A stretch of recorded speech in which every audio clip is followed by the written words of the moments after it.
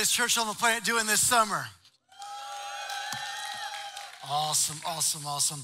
Man, we have got a lot of things going on around the church. Today, our teenagers, the middle school and high school, many of them are at the uh, a summer beach camp right now, just getting filled up with the Word of God. And so, for all the moms and dads, they're in good hands.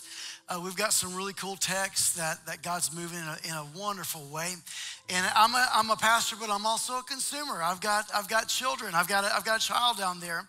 And I know as a role of a parent is our job is just to put our kids in front of a move of God as often as possible. So could you do something with me, whether you have a teenager or not?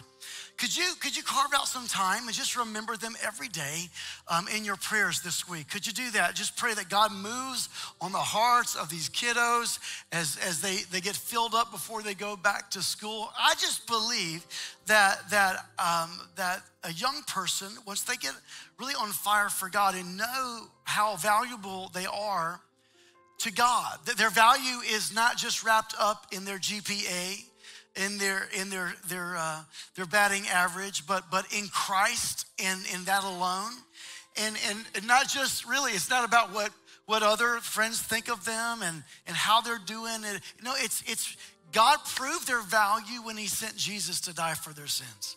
And once a kid gets a hold of that, I'm just I'm convinced of this. There are no wild kids, Pastor. You don't you don't know my kid. No, no, no. They, they just don't have vision. That's all. Because the Bible says without vision, everybody, all of us, we run wild. We cast off restraint. So this is what I'm praying that God would give our kids vision that would just keep them walking with God all the days of their life. Okay? So I know you, are going to pray with me over that. Um, if you're a guest with us, we want to say a big welcome home. We are so thrilled that you're here today. Those that are joining us online, we know I've got my, my phone lit up this week. Got leaders that are on vacation. We got students on vacation. Uh, you know, we're just having a, a great time making memories. And so today, more than ever, we want to say a big hello to our online campus. One more time, can we welcome those that are in another room right now that are joining us? That's right. Glad you guys are here. We're having a wonderful time here. Man, the sun's out, guns out. Come on, everybody. It's a great, great day here at Highlands. But, but this is what I, I'm finding that I'm meeting new families every single weekend. Um, even on Wednesday nights, we've got that coming up this Wednesday. And so this is what we want. Uh, could you help me help you? Our church would love to serve you. We'd love to equip you with all the information that you need to know how to get connected around here, and learn more about us. And one way that you can do that is at 11 o'clock, okay, today, 11 o'clock on Sundays, if you can just make yourself, across, make your way across the, the, the lobby to our Dream Team Central. We've got a team of people over there that would love to serve you and be a part of the Next Steps gathering. They can tell you where we've been and where we're going. You've heard about that on the announcement, I, but I, I really want you to get plugged in. I want you to get connected and meet some amazing families that are here waiting for you here at Highlands. And then also on the, on the seat back in front of you, there's a QR code uh, on that seat back in front of you. If you'll just go ahead and scan that, we're, we're not gonna we're not gonna load up your inbox, so nobody's gonna call you at work and bother you, but we want to give you um, all the some, some great information. This is what's coming up, what you can be a part of, and also on that QR code on that that form, it, it's a place where you you can share with us things that you would like our team to pray with you about? Are there some things that are touching your life that you would just rather, you would rather have a group of people saying, you know what, I'll pray for you. I will partner with you this week between, come on, between Sundays to, to, to, to just encourage you in your faith. And, and, they would love to do that. So help us help you. Go ahead and fill that, that QR code, scan that QR code and fill that out. And that would be awesome. This coming week, uh, this Wednesday, we've got another chance to be with us to get together at our, our Wednesday night for ministry for everybody, for the kiddos, for, for mom and dad, for the, for the students. Um, and then we've got some sweet treats afterwards. We've had a great time the last few weeks, haven't we, church? Hasn't that been fun just getting together and growing in our faith as we, we go into the Word of God? Well, I'm going to pray in just a minute, but before I do, I'm going to let you know we're going to wrap up today's message series called, called Boating Season. And we've, we've been discussing different boating stories in the Bible. We started out with probably one of the most famous one was Noah and the ark. Week two, we talked about when the boat that was in a big storm, that Jesus was down in the, in the bow. He was asleep. He was asleep not because he didn't care, but because he wasn't worried. Come on, church. That's good preaching right there. And God's not worried about the thing that's keeping you up at night. So we'll just go ahead and take it to Him so you can sleep good too. And then, then the week after was Father's Day. Today, today, um, I'm really excited about today's message because we're, we're going to talk about probably one of my favorite boating stories on, on the, on the story of a man's night, life named Jonah.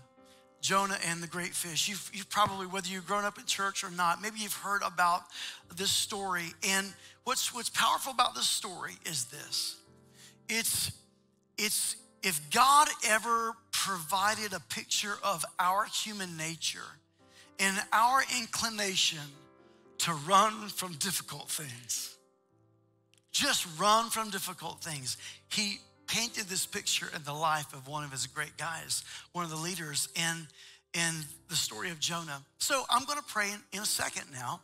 But when I do, let me ask you, let me ask you. Here's a, here's a question for all of us that I really want us to, I want us to pray over this. And, and I believe that God's going to show you some things that you may not be running, but we, we have we put lipstick on it and we say, Well, I'm just avoiding some things. I'm just praying about, no, you're running from some things. Come on now. We, we, we like to put better labels on things. You know, I, I, I, I, don't, I don't suppress. I, I just, I'd rather not talk about it. Oh, I like that lipstick. Keep on talking about that. I don't have anger issues. I just have, I have some tension in my life. Love the lipstick. So here's the question for us today. Are you ready? What are you running from? What are you running from in your life? That you God just keeps saying, We're here again, aren't we? We're here again, and I'd rather you just run to the storm and through the storm because the more you run from it, the more you will see of it. I am preaching before I pray this morning.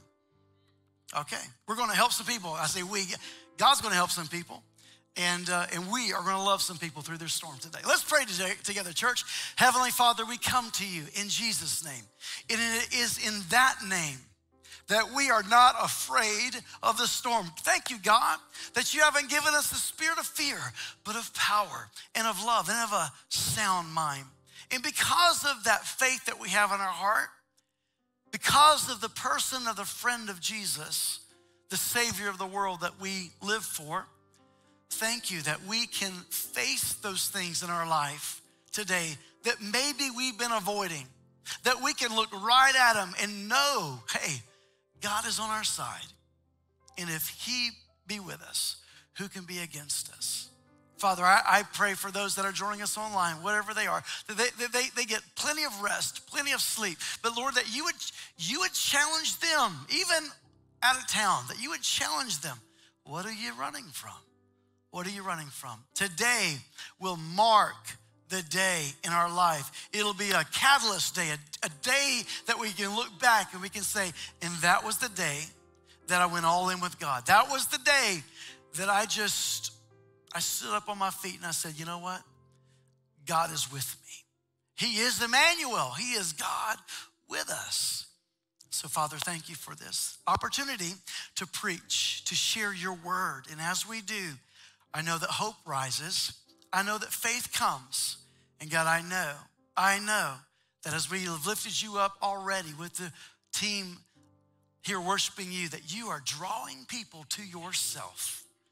In Jesus' name, amen. Amen, amen, amen, amen. Man, I, how many of you, y'all, and we don't, we're not led by our feelings, but how many of you sense that God, God's doing something already? Like God's already doing something. He's done that in my life. He's doing that in my heart. All this week we've been praying for you. And I've shared some of the content that I've shared with you. I shared with you a year ago, but um, I, I want to share, I want to go a little different, different slant at a very familiar story. But we do need to really you know, play something back that I shared with you, um, meaning that uh, the, the names of the characters in the story and the definition of their names really it, it, it is a prophetic word about their life. The, the name jo, Jonah, it means this, it means dove. So Jonah's name literally means it means dove. It, it's, it's birds have this crazy ability to sense when a storm is coming and what, if you watch animals even like tsunamis or anything when you watch hey when you when you see a tiger running by you and not to you you better run with that tiger right when birds fly away, you're like, we probably should start taking notes. And so his name means dove. His, he's known as the reluctant or the runaway prophet because he's known to be like his name, to fly away when things come. And, and his dad is Amittai. Amittai, his name means truth. His name means truth. So we have, we have Jonah, the, the prophet that flies away when discomfort and hard times come. And, and, and then he is the son of truth. So he is carrying truth, but does not want to carry it to the crowd that God has called him to. All right, so we're, so we're going to pick right back up. We're going to talk about this flighty prophet today. This is how our boating story begins in Jonah. Jonah chapter one, go to the great city of Nineveh. Make a note of that. Go to the great city of Nineveh, God speaking to Jonah, and preach against it because its wickedness has come up before me. Now, look, this was an unprecedented event because up until this point, God's prophets have only been sent to God's people, the Hebrews. And so he's asking him to go outside of your people group and go to another group. And then uh, the verse 2 goes, continues.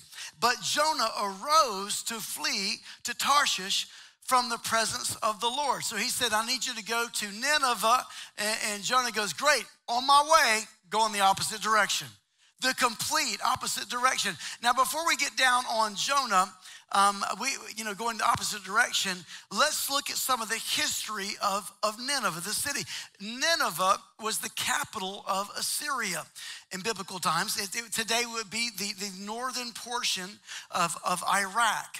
Now, Jonah was a prophet to the nation of Israel. Assyria was the main or the greatest enemy to Israel. In Israel, uh, of Israel, Assyria was known for their cruel torture of their victims when they were traveling throughout their towns. They were actually famous for, for, their, for their torture. One historian that I read uh, just this past week said, said that they would cut off the legs of their victims and one of the arms, but would leave one arm so they could shake their hand as they died. Folks, that's some gangster stuff right there. I'm not gonna lie to you. That's, that's messed up, okay? So imagine this. Imagine God telling you, okay, uh, what I want you to do is I want you to go to the capital of Iraq, but, but the, before you do, I want you to be sure to, to take your Bible with you, to, to, to wear your favorite American, t, American flag t-shirt and the American flag fanny pack. You know you got that rocking and I want you to march right down to the capital of Iraq. And I want to meet, I want you to meet with the heads of state of Iraq. And I want you to say, repent, repent from false gods, turn from Islam, and surrender your life to the Messiah, Jesus. How's that working for you? So that is what's really happening, you know, in this storyline, all right? So so, again, what are you running from? But here's another question What do you do when God asks you to do hard things? Hard things. And in, in, in, in looking at this story, and I've, I've, got some great insight from some friends, and, and something that I really want to I want to share with you that I was challenged with a while back. I, I, I, believed it the entire time, but when it was said to me the way it was said, it landed. And, and here's the idea write this statement down. There is a difference between pain and harm. There is a difference between pain and harm. If a doctor goes in to perform surgery on you to remove cancer from your body, there will be pain involved. There, there's going to be some, some soreness after that surgery. But watch this the goal of that surgery is not to harm you, the goal is to heal you, right? Pain is not harm when God leads us in his sovereign plan through a painful season, Listen, we develop trusting God because even though that season hurts, God's not trying to harm you. You need to hear that because we just put labels on that's the devil. Could it be God? Trying to grow you up, refine you, work on some character things, not to harm you. His plans are good. They're not to harm you, they're to help you and to prosper you. But pain is not harm. All right? There is, it's, it's different. We as a church, and we as a community, and my God, we as a, as a country have got to grow a spine and toughen up and stop running from painful seasons and uncomfortable conversations. This is a dangerous trend in the Big C church with Christians that I'm seeing right now. The moment things get tough and the second feelings are hurt, what do we do? We fly from our responsibilities okay? And everyone who grew up playing sports, you know, all my athletes, I, you know it's to be true. The, you know your best coaches never try to create comfort for you. They ne- the ones that you, I mean, at the moment you hate their guts. I'm not gonna lie. At the moment, like, bless God, it wouldn't hurt my feelings at all if this one dropped dead. Like you were just, you know, but you look back as an adult and you said, I learned some things there.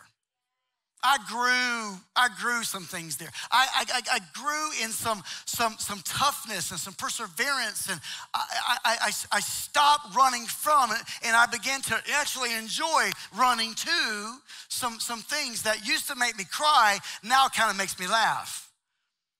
And, and in practice, their goal, the tough coaches, their goal was to, oh, listen, church, to normalize pain. Not harm, but pain because they knew that there would be painful moments in a game that would either cause you to quit or say this I've been here before. What do I do when I want to throw up? Hurry up and get it over. you know what I'm saying? That's an awful word, word picture there, but you know what I'm saying? I've been here before. And ladies and gentlemen, at this season of my life, I've seen some things, and you know what? You have too. And so when things come and, and, and, tries to hinder some, some moves of God in our family and in our life, we can laugh and go, I've been here before. God was faithful then, He's gonna be faithful now. Honey, I've been through the recession of 2008. What are we gonna do? Trust God. And some of you have been, been through recession after recession. You've seen the cycle, and you actually know that the financial uh, uh, consultants, they are right. It's cyclical, that you see it coming. What are we going to do? I guess we're just going to have to trust God as if it's like a last resort. So Jonah made the mistake, and this is what, and we do it too, that since he couldn't see any good reason to go to Nineveh, there must not be a good reason to go to Nineveh. Here's, here's another reason Jonah struggled so much. He didn't want to practice and he didn't want to preach repentance, grace, and mercy because he was a stranger to it himself. Let's keep reading. He went down to Joppa instead. Yeah. He found a ship going to Tarshish. Hey, can I, can I, I want you, I, I want you to write this one down. You can post this one, please. Write this down. When you decide to run from the Lord, there will always be a vessel willing to take you. Every, I've, I've seen it too many times. Whenever I decide I'm going to give God my no instead of my yes, there will always be a vessel that will get me there quicker. And can I just tell you, they, it normally comes in, in ungodly soul ties. It, it normally comes with people running the wrong direction, and they usually run in a crowd. You may meet them individually, but they will take them back to the, they will take you back to their camp. Public service announcement. There will always be a vessel. It'll always be obvious. It'll always be con- actually more convenient. Come on, that vessel, it, it's, it's, it's, it, uh, you can see it coming a mile away, okay? When I was young, I rarely made a dumb decision all by myself. How many of you know what I'm talking about? I rarely made that bad decision. Why? I was, I was on a vessel. I was with a group of people. And, and they made it easy to make that decision, matter of fact. When the easiest thing I could have done is just say, God, I'm just gonna go your way. All right, let's keep reading. He went down to Joppa and he found a ship going to Tarshish. So he paid the fare. Everybody say, pay the fare. Say it like you've done it. Yeah, you have. Yeah, you have. And went down into it to go with them to Tarshish from the presence of the Lord. So the first, the first idea is when you when you decide to run from the Lord, there will always be a vessel willing to take you there. But here's another thought. Write this down. When you decide to run from the Lord, you'll soon find out that disobedience costs. It never pays. You see, ladies and gentlemen, when, when, when it is of the Lord, yes, there is an investment and there will be sacrifice, but listen, it is an investment, it's not an expenditure. It's like uh, uh when a seed, when a seed leaves your hand and lands in the hand of God, there is always a, a, a harvest coming back. That seed will always come back bigger than you sowed it. Okay? Now, watch this. Here's the thing with, with sin, it's the same way. Uh, the, the, the, the sin of running from God, it never comes back the same. It always comes back bigger. It, it cost him. He paid that fare. See, when God makes a way, he also, he also supplies that need. Watch, Jonah had to supply his own need. Why? Because that's what sin does. How, you've heard me say this so many times. I hope you say it to your kids and wear them out too.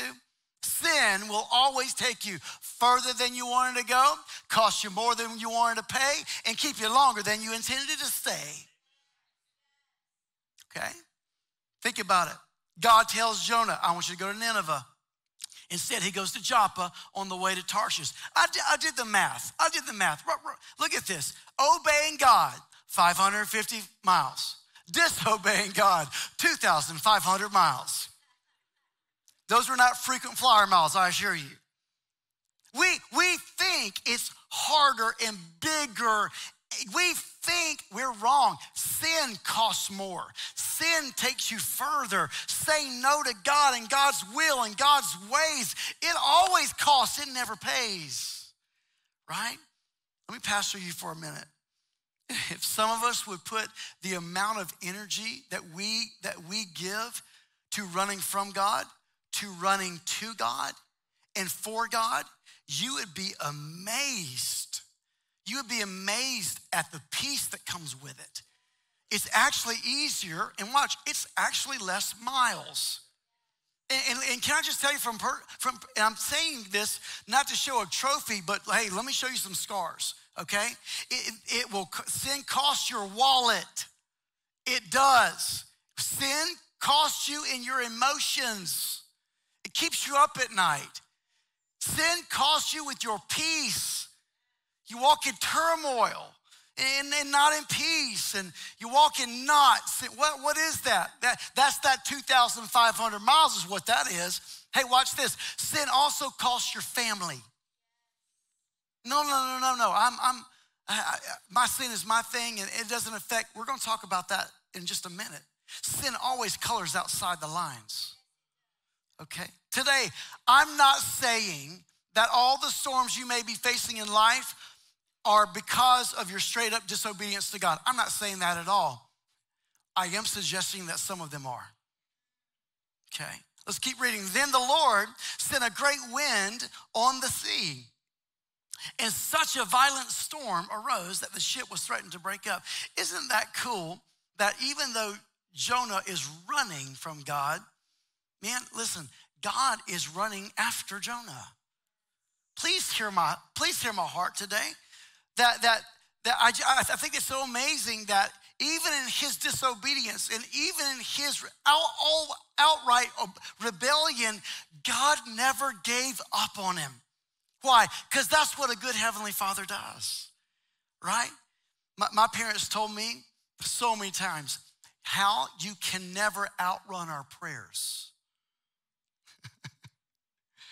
You know, and they were right.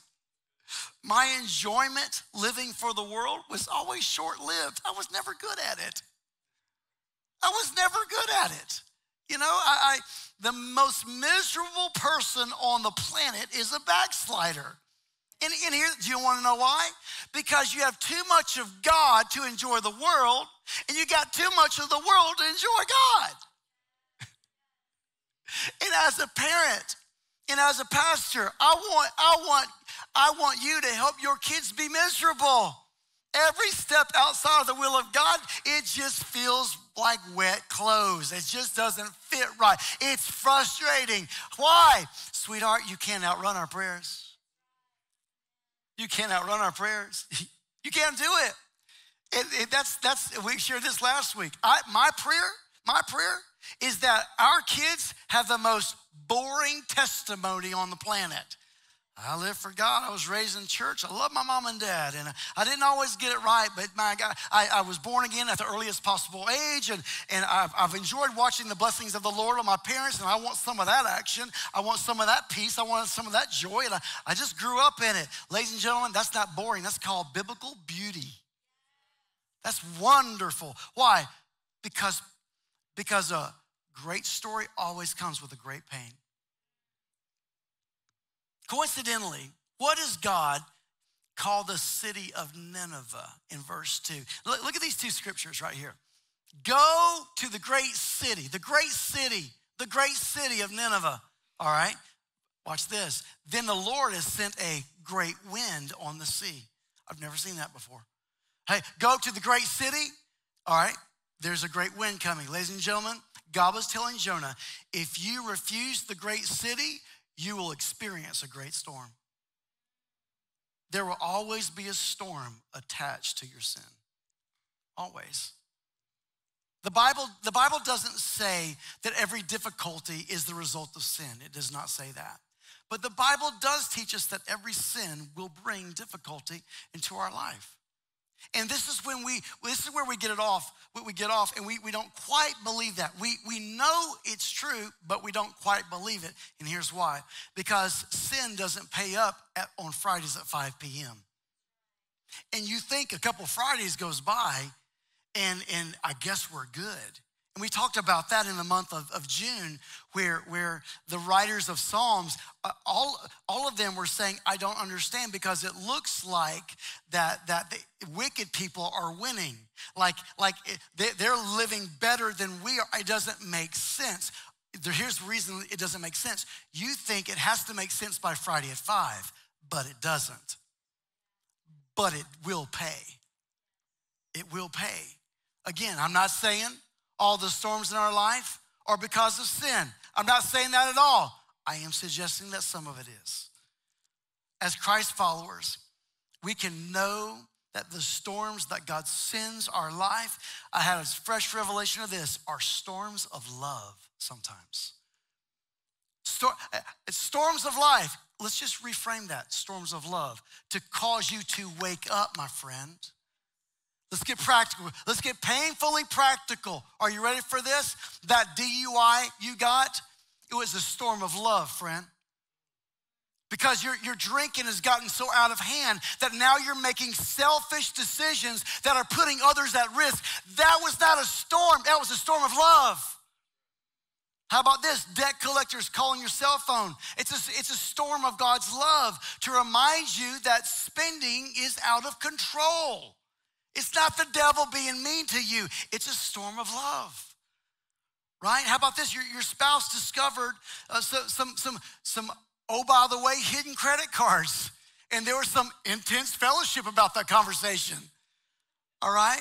That was a storm of love, ladies and gentlemen, that you were found out. Why? Because if you lied about that, the harvest always comes back bigger than the seeds you planted. Years from now, it could be bigger than silly credit cards. It could be a lie that destroys your family. It's a storm of love. It's the mercy of God that you were caught. It's the grace of God that it didn't go well. Let's not throw a label on it and call it the devil. We can say, Thank you, God, for a second chance. Here's the word of the Lord for someone today stop running from God. There's no refuge from Him, there's only refuge in Him. What are you running from today? What are you running from today? You may or may not know the rest of the story, so here it is in a nutshell. All the old people call it Cliff Notes. Here we go. Okay. Jonah stopped running and he took responsibility for his bad choice. You know what? That's what repentance looks like. Repentance doesn't say sorry. Repentance goes, that was all me. I own it. That's, that was me. And I don't, I, don't, I don't want to do this. I'm changing my mind, changing my direction. That's what repentance, direction. But, but, but here's the beautiful thing it starts with, I was right here. I am the square root of my problems. That's me. And I'm not pointing, we in our country right now, we love to point fingers. We love, it's got to be this person. The reason I did this is because that happened to me. All of us have wounds, and I'm not, I'm not diminishing those. And I'm not saying they didn't happen. I'm not saying that they weren't awful. I am saying at some point we have to own our decisions. Newsflash. Own it. And the beauty of the restoration plan of God goes into effect. Here's a funny story when, when, my, when my youngest was really little, I was outside in the, in the, on the driveway and I see her, her bike, her bicycle that was laying over it, it, next to the mailbox, next to the, the garbage can. And, and I'm like, well, first of all, um, I bought that. Why are we throwing that away? Come on, dads. What, what's the story there? So I said, hey, hey, Squirt. I said, what, wait, what's the story of the, she goes, oh, it's okay. I, I, I didn't want it. It's okay. I, did, I, I just didn't want it. And it's, something's broken. And it was, it, and I, I'm like, really? Okay, well, hey, let dad try to fix it. No, no, no, no, no. You, there's no need for you to go out there and, and, and, and try to fix it because it's, it's really broken, really. She just went on and on. So, uh, with every excuse, I take another step toward this bicycle that I bought that we are not throwing away, right? So, we, we get about halfway there. She turns around, she goes, Okay, okay, okay, okay. Here's the truth. I got my jump rope stuck uh, uh, in the gears, in the spokes, and in the chain, and something happened, and I just, I, don't want it. I'm so sad. And I just, what do you know what I did? I started laughing at her. I'm like, I can fix that. It's okay. Can I just, can I help somebody today? God's like, let's go walk out to the street and let's look at this thing. No, no, no, no, it's okay. I'm, I'm good. I've, I've conquered that area in life. I've got that on the lockdown. I'm actually getting, you're healing my heart. Thank you, Jesus. I'm good there. God's like, with every step and every excuse, God's like, I'm so glad. Hey, let's just go talk about. It. No, no, there's no, there's no sense in you coming all this way. You're so busy in the Middle East. There's no sense in walking down my driveway. And, and, and, and what's God doing? Okay, okay. And he's walking right to it. The moment you go, okay, okay, okay I made a decision that made this thing not work anymore. That was me. And God would say to you, okay, but I can fix things like that. And I can redeem things like that. Even the things that you did. It was your fault. It's okay. I'm God. God wants to prove to you how loving and how good and how merciful He is in your life. But you've got to say, yep, my, my bike, my jump rope, that's me. Look what, look what the Bible says Jonah did. Pick me up. I love this in chapter one. Pick me up and throw me into the sea, he replied, and it will become calm. And but this is the most beautiful part of the scripture right here. I know this is all my fault. I know this is on me. That this great storm has come upon us. Okay, now watch this this great storm has come upon us. Whoa, whoa, whoa. You thought your sin only touched you. No, no, no. Your running affects others too. Mom, dad, your running affects your kids. They don't know, it doesn't, it's not a matter of do they know about it. Okay? The seed of rebellion, they're seeing that in your heart. they are picking that up. Kids have spiritual antennas, and you and you do too. You can walk into the room right after a fight, and you're like, "Hey guys, I got a quick. Is everything okay?" And no one said anything, did they? Why? Something's going on. Something's happening. Your hey, mom, dad, your kids know something's going on. Something's going on. Make that, hey, just say, you know what? It's my fault. It's my fault. And I'm tired of seeing my kids in a storm as well. How am I doing, parents? Come on. Tired of seeing my kids shaken by storms. Okay? Let's keep, keep reading, keep reading. So God sent this great fish to, to, to take care of Jonah. It wasn't to punish him, it was to get him to where he was supposed to be. If you would just own it, God's rescue plan would go into effect. All right? Then the word of the Lord came to Jonah a second time. Everybody say a second time. All right, this is what the word of the Lord says. Hey, go to the great city of Nineveh and proclaim to it the message that I give you. Guess what the, the message was? The same message in chapter one.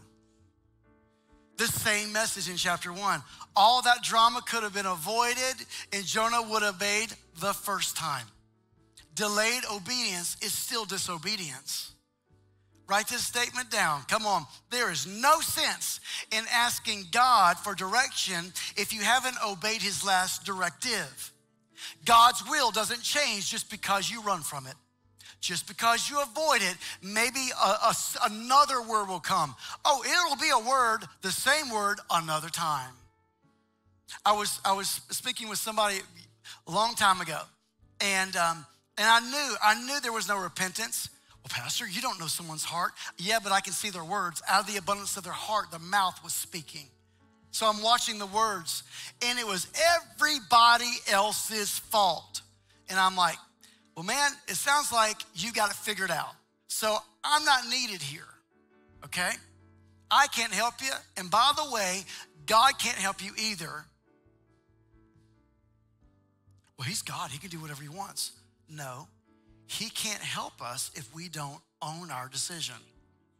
But once we do, He's like, I am so glad that you shared that with me. I'm, I see your heart of repentance. And guess what? The fish is on the way. The fish is on the way. Did y'all get anything out of that great boat story today? Come on. God's word is true. God's word is true. Let me pray for us before we leave today. Heavenly Father, I pose this question again to your people What are you running from? What are you trying to avoid? What's that word that God has spoken to you? What is that thing that He has shown you that you're not walking in, you're running from? So, Father, right now, this is our opportunity. Not just to name it, but to make a decision. What are we going to do with this today? What is God speaking to you, and what are you going to do about it? I love that question. So, Heavenly Father, thank you for giving us another chance. Not another word, but another chance. Today, we know what to do with it.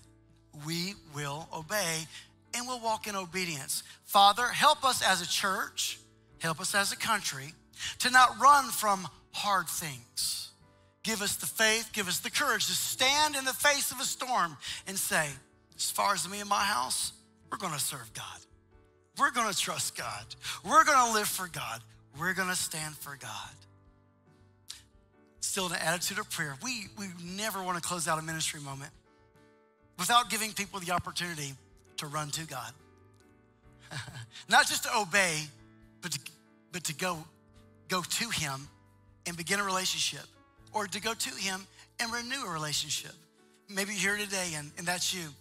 You've been running from God but you know what? It's not because you're trying to do your own thing. You're just, you just never started that relationship. You don't know the God that can be trusted. Maybe someone painted a bad picture of God to you, and you think God's trying to get, get back at you. No, He's not trying to get back at you. He's just trying to get a relationship with you. And if you're here today, you say, you know what, Pastor, that's me. I want to begin a relationship with God today. I want a real one, a real relationship with God. Or, Pastor, today I'd like to rededicate my life. And what I mean is, I'm not where I used to be eh, walking in my relationship with God, but today I want to I want to renew that. I want to go all in with God. I want to walk with God again today. My, my, my running away has cost me um, time and resources, my peace, unfortunately, my family. Today, I want to repent. I want to own it and go, that was me. And I want to run back to God. Oh, if you're here today and you say, Pastor, please count me in on that prayer. I'm going to say a general prayer over the crowd, those that are joining us online. If you're here today and you say, Pastor, I'm running to God, that's me. I'm not talking about church membership. I just want to introduce you to, to Jesus, who will change your life, make all things new, forgive you of, of your past so you can make heaven your home. On the count of three, I want you to do something really radical, really bold. I want you to slip your hands up, slip it right back down. That's just you saying, I want that today. I want to start a relationship with God today, or I'm coming home. I'm renewing that relationship. Are you ready? I'm not going to drag it out. One, two, here it comes. Three. Anybody in this place? God bless you. God bless you. This is awesome. God bless you, sweetie. Awesome. Sir, thank you. This is awesome. Let me do this. Let me lead, lead you in this prayer. I'm going to lead you in this prayer. Watch this. This is the beautiful thing about God. All things become new in Him. God's going to transform your life. He's gonna, the Bible says you'll be born again. What does that mean? My spirit has been made new because of what Jesus did for me on the cross. Say this prayer say, Heavenly Father, I thank you for Jesus. I believe that He is the Son of God. I believe He died on the cross, and I believe He rose from the dead. Jesus, I'm sorry for running from God. I'm sorry for living life my way. But today I'm running to you. Thank you for being my sacrifice. Thank you for paying my price. Jesus, I surrender to you right now. Make all things new. Change me from the inside out. My life is in your hands, and I'm born again, and I know it. I'll never be the same. Holy Spirit, fill me today Give me the power to make Jesus famous by the, by the way that I live my life. I'll never be the same. In Jesus' name. Heavenly Father, thank you so much for timing your word today. Lord, I, I believe that faith is rising, that courage is rising, hope is here. God, thank you that people were born again today, making decisions that will impact eternity today. But God, I thank you that the church was strengthened by your word today. So, God, I pray as we leave this place, we leave this place we go out in the blessing of God. May the Lord bless you. May the Lord keep you. May the Lord's face shine upon your life. May the Lord be so gracious to you. May the Lord lift up his countenance upon you. And may God give you this week his peace that passes all understanding, that would guard your heart and mind through Jesus Christ. If you receive that, say amen. And can we put our hands together for everybody that made a decision today? Come on, church, people were born again today.